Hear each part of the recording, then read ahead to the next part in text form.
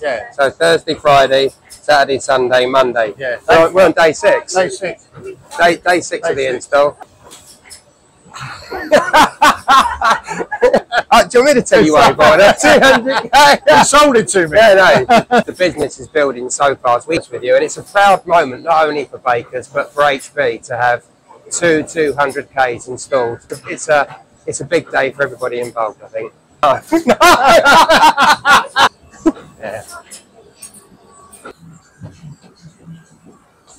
Oh, want some noodles? Got Karina and Gary here. Top team.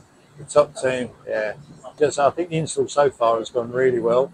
I think it's um, it, it makes a massive difference. The fact that we've got we've got the second, yeah, the first machine is still running all the way through the install. So it's meant that you know we haven't had to stop stop production at all. So that's really helped. But no, can't wait to see it actually up and running. It'll be good.